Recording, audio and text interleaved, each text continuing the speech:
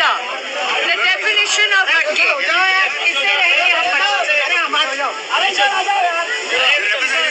How to restrict Sarah. We can't use this then.